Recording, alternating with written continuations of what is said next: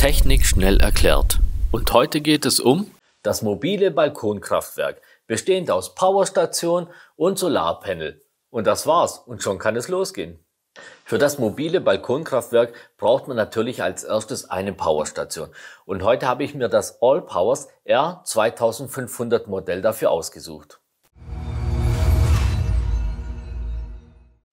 Ja, für was ist so eine portable Powerstation überhaupt gedacht? Also in erster Linie haben wir natürlich eine mobile Powerstation. Das heißt, wir können die Station natürlich überall mitnehmen, ähm, sei es mit dem Camper unterwegs zu sein oder auf einer Grillparty oder einfach nur Bereiche, wo wir einfach keinen Strom haben. Wie zum Beispiel in der Garage, wenn man da keinen Strom verlegt hat und man möchte was arbeiten, dann geht da natürlich genauso. Ja, wer die Powerstation für seinen Camper nutzt, der hat hier natürlich mehrere Vorteile. Erstens, es ist mobil. Und zweitens, man muss nicht alles komplett verbauen. Das heißt, wenn man sich mit der Elektrik nicht auskennt, mit der Elektrikverlegung, dann kann man sich das alles ersparen. Man setzt nur den hier ein an einem festen Platz. Ja, und dann hat man schon seine 230 Volt oder seinen USB-Anschluss, also 12 Volt. Ja, ich verwende die Powerstation natürlich nicht nur für den Camper, weil ich natürlich nicht so oft im Jahr campen gehe und dann wäre es einfach nur Verschwendung, die Powerstation irgendwo in der Ecke liegen zu lassen. Deshalb verwende ich meine Powerstation eigentlich das ganze Jahr über auf dem Balkon als Balkonkraftwerk. Bevor es jetzt an die technischen Details von dem Gerät geht, erkläre ich euch jetzt erstmal, was eine mobile Powerstation überhaupt ist. Eine mobile Powerstation ist eigentlich nichts anderes wie eine Batterie, die innen drin verbaut ist. Dann haben wir hier sämtliche Anschlüsse. Wir haben 230 Volt, das heißt, ein Konverter ist schon mit eingebaut. Das wandelt dann direkt auf 230 Volt Strom um. Genauso haben wir hier sämtliche Anschlüsse wie USB-Anschlüsse, wie bereits gesagt 230 Volt Anschlüsse und das Autoladegerät bzw. der Zigarettenanzünder, wer das noch kennt. Dazu haben wir hier noch ein Display. Hier kann man ablesen, wie viel Reststrom noch da ist, beziehungsweise wie viel Prozent Strom noch zur Verfügung steht, wie viel Watt ausgeht, wie viel Watt reinkommt und so weiter. Das können wir hier alles an dem Display ablesen. Zusätzlich verfügt das Gerät auch noch über Bluetooth. Das heißt, wir können hier alle Daten beziehungsweise alles, was wir umstellen wollen, an, aus, können wir alles dann per App äh, auch noch jeweils steuern. Ja, wie ihr hier schon seht, es ist eine recht große Powerstation und mit groß meine ich auch richtig groß. Wir haben hier 2016 Wattstunden an Kapazität. Das entspricht 42 Ampere-Stunden Batteriekapazität. Ja, so eine große Batterie will natürlich auch aufgeladen werden und wir können das hier über Solarpanel machen oder wir können das ja auch über 230 Volt aufladen. Bei den Solarpanel kommt es natürlich darauf an, wie groß ist euer Solarpanel und hier könnt ihr bis zu 1000 Watt an Solarpanel anschließen. Bei 230 Volt können wir die Batterie innerhalb von knapp eine Stunde aufladen. Mit dem Solarpanel kommt es natürlich darauf an, wie groß ist euer Solarpanel, das heißt, wie stark ist, er, ist euer Solarpanel, dann wie steht die Sonne, wie stark ist die Sonnenintensität und so weiter. Also da dauert es dementsprechend etwas länger. Ja, und ist die Batterie voll, dann habt ihr hier nochmal eine Möglichkeit. Und zwar können wir hier über die Seite noch zwei externe Batterien extra anschließen. Ja, und dann haben wir natürlich noch mehr Batteriekapazität. Ja, bei der Batterie handelt es sich um eine Lift Pro 4 Batterie, also richtig High-End. Ja, das heißt, wir können hier über 3500 Mal die Batterie aufladen. Ja, und wenn ihr dann einfach mal zwischendurch anschauen wollt, wie viel ist es jetzt schon aufgeladen oder wie viel muss noch geladen werden, dann könnt ihr das einfach über der App machen. Da könnt ihr einfach draufschauen, da müsst ihr nicht immer wieder zu der Powerstation rennen. Ja, und könnt einfach den aktuellen Stand abfragen. Bei den Anschlüssen haben wir hier viermal 230 Volt Anschlüsse. Und was können wir hier ranhängen? Also wir können 2000 Watt Sinus anschließen. Also das heißt locker ein Föhn oder was man halt sonstiges einfach anschließen will. Also hier geht richtig was. Föhn, Wasserkocher, egal was. Und wir können hier einen Spitzenwert von kurzzeitig 4000 Watt anschließen. Also ihr seht schon, das ist richtig, richtig ordentlich. Ja, dann haben wir hier auch natürlich USB-Anschlüsse und wir haben hier einmal USB-A-Anschluss und USB-C-Anschluss. USB-A-Anschluss hat einmal 12 Watt Ausgang und einmal 18 Watt Ausgang. Und bei dem USB-C haben wir sogar bis zu 100 Watt Ausgang. Also es ist dann richtig, richtig ordentlich und es ladet einfach schnell eure Endgeräte.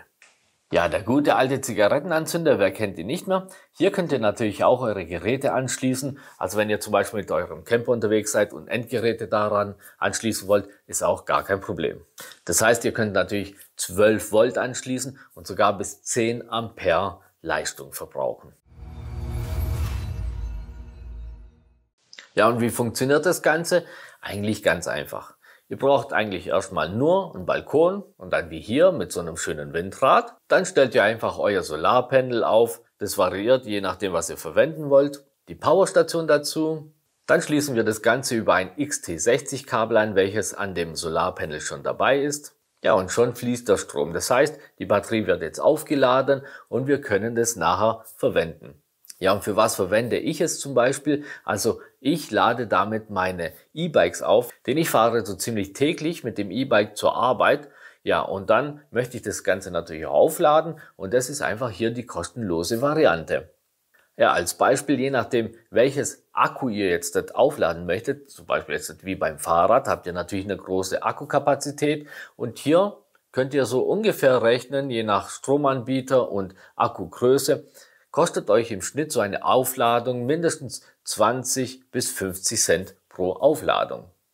Aber es ist natürlich nicht nur im Bereich äh, E-Bike aufladen, nein, ihr könnt also hier alles aufladen. Ja, ich mache hier mein Handy zum Beispiel dran, mein Laptop lade ich hier auf alle technischen Geräte, meine ganzen Kameras, alles könnt ihr hier anhängen. Und wenn ihr jetzt mal euch zusammenrechnet, wie viele Geräte ihr im Haushalt eigentlich habt, welche ihr ständig immer aufladen müsst, ja, dann könnt ihr euch vorstellen, wie viel Strom ihr letztendlich damit verbraucht. Ja, und somit haben wir hier natürlich eine kostenlose Energiequelle, die wir einfach jedes Mal immer wieder erneut einfach mit der Sonne aufladen können. Ja, und wenn die Powerstation da einmal dranhängt und gerade geladen wird, dann müsst ihr euch nicht mehr drum kümmern. Ja, und ansonsten könnt ihr euch einfach um nützlichere Dinge kümmern, wie hier zum Beispiel sein kleinen Kind ein bisschen was vorlesen. Ja, bei dem Aufbau könnt ihr das wie ich zum Beispiel so machen mit einem faltbaren mobilen Solarpanel oder ihr könnt es natürlich auch mit einem festen Solarpanel verbinden und so eure Powerstation aufladen. Ja, ich bevorzuge lieber die mobile Variante, weil die Sonne, die geht natürlich auch, die bewegt sich und da kann ich einfach mein Solarpanel immer wieder ja, ausrichten. Ja, und dann habe ich einfach den optimalen Sonneneinfang.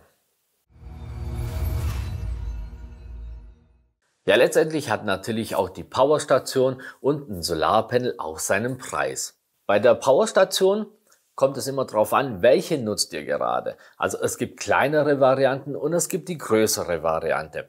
Da könnt ihr einfach mal schauen, was ist für euch sinnvoller. Ja, in dem Beispiel hier verwende ich die R2500 mit dem großen Akku. Wenn ihr jetzt zum Beispiel kleinere Varianten nimmt, dann sind die natürlich auch dementsprechend günstiger und da bleibt es euch überlassen, wie viel Geld ihr eigentlich ausgeben möchtet. Ja, jetzt ist der Betrag erstmal sehr hoch. Man denkt, oh, ein sehr, sehr hoher Preis. Ihr müsst es aber so sehen. Ihr könnt es jetzt hier zum Beispiel für euren Camper verwenden. Dann spart ihr euch hier schon mal die ganze Bordelektronik. Ja, und letztendlich mache ich das auch so. Ich nehme die Powerstationen auch immer mit, habe die im Camper mit dabei und kann einfach dort noch meine Geräte mitlaufen lassen. Ja, bei dem Solarpanel kommt es natürlich darauf an, wie groß euer Solarpanel sein soll. Also wenn ihr zum Beispiel nur 100 Watt habt, 200 Watt, 500 Watt oder 1000 Watt, da geht es natürlich auch dementsprechend mit dem Betrag in die Höhe. Da könnt ihr natürlich auch selbst variieren, was ihr hier anschließen möchtet. Natürlich habt ihr hier erstmal eine Anschaffung wie überall, also sei es die fest verbaute Anschaffung, die ihr dann sowieso hättet, oder hier die mobile Variante. Also die Anschaffung ist immer, dass man erstmal investieren muss, bevor man mal etwas rausbekommt. Ja, auf kurz oder lang könnt ihr euch selber ausrechnen, wie viele Endgeräte ihr hier zum Laden ja, dranhängen könnt und irgendwann zahlt es sich natürlich aus. Ja, die Balkonkraftwerke, die werden momentan natürlich immer beliebter und normalerweise besteht ein Balkonkraftwerk immer aus fest verbauten Komponenten. Hier habe ich euch jetzt mal eine mobile Alternative angezeigt, die ihr nicht nur auf dem Balkon als Balkonkraftanlage verwenden könnt, sondern genauso noch unterwegs beim Campen oder auf einem Familienfest oder beim Grillen, egal wo ihr einfach noch Strom braucht und seid somit nicht daran gebunden, die ganze Anlage nur auf, eurem, auf eurem Balkon ja quasi liegen zu lassen. Ja, letztendlich kommt es darauf an, für was du dich selber entscheidest. Für die fest verbaute Variante oder für die mobile Variante. Ja, das war's auch schon wieder. Und wenn du uns unterstützen möchtest und dir das Video gefallen hat, dann lass gerne ein Like und ein Abo da.